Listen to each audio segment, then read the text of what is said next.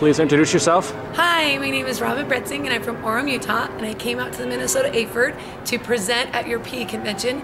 And I think everyone should attend your state convention in order to improve their professionalism. The sessions here were fantastic, and if you didn't come, you really missed out. Thank you.